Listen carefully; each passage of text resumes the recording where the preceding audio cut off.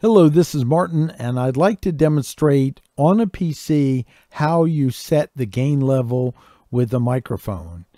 And so you'll, right down here, you'll have the speaker. So right click on the speaker. See, I'll go get away from it a second. Look at it right there. See the little speaker? Speaker.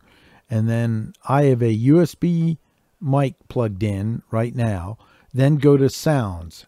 Sounds right down here. See the word sounds? Click sounds then from sounds, you'll go into recording, recording right over here. Click recording. Then there's the mic. You see how we can see the fluctuation. It's a Samson Q03U that I have plugged in on a boom here. So double click on this one, double click on that. And then from there, go to levels, right here, levels. Click levels.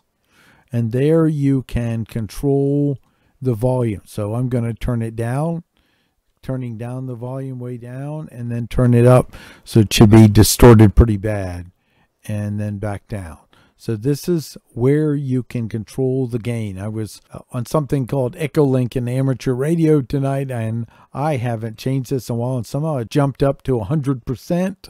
And the guys were saying it was just overdriving, and they were right. It was way up at the time. So this is where you control it. Then you click OK.